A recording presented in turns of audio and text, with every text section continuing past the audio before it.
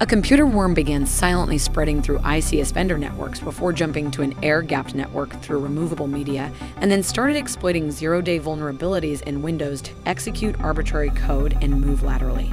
It was hunting for a target.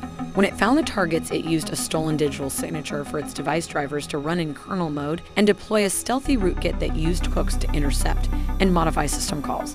The worm then altered the Siemens primary logic controller's code to over-rev and destroy nuclear centrifuges while modifying communications with operators to make operations appear normal. This was the 2010 Stuxnet. It infected over 20,000 devices, destroying roughly 900 centrifuges in 14 Iranian nuclear facilities. Stuxnet was engineered to self destruct in 2012, but it hit an internet connected system and spread globally on the internet. Iran and Russia then reverse engineered and modified it into these malware strains that target water treatment plants, power plants, and pipelines.